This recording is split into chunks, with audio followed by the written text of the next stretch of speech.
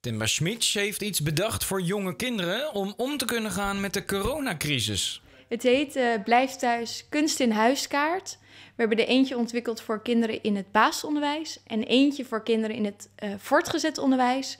En zij krijgen middels deze kaart eigenlijk de kans om uh, door cultuureducatie te verwerken wat er allemaal op hun afkomt. Want dat is behoorlijk veel in deze tijd. Ja, het is eigenlijk, het uh, zijn fun-opdrachten bijvoorbeeld uh, over het hamsteren. Uh, maak een bouwwerk van alles wat je in de voorraadkast vindt. Dus dat zijn echt de fun-opdrachten. Maar het gaat ook dieper, bijvoorbeeld echt een stukje verwerking van de emoties. Welke emoties heb jij gevoeld? En maak daar een fotocollage van.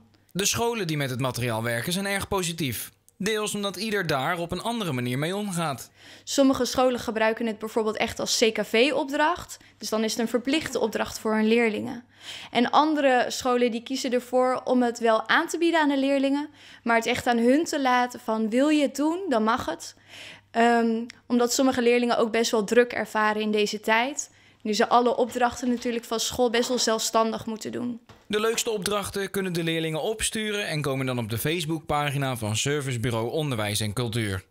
Voor Temba staat er nog een activiteit op de planning. Ja, een pilot. Het gaat dinsdag eh, van start. Dus onder de noemer Blijf thuis kunst in huis is de strippenkaart. Maar staat dus ook de pilot. En wat we daarmee gaan doen is dat uh, kwetsbare kinderen op de basisschool. Die uh, krijgen uh, les van een kunstvakdocent. En dat doen we in een klein groepje. Denk aan vier leerlingen. En elke dag krijgen zij dan een uurtje de tijd om uh, aan de slag te gaan met een kunstdiscipline. En ook hier zetten we kunst weer in als middel. Het gaat echt om het verbinden met het kleine groepje waarmee je bent.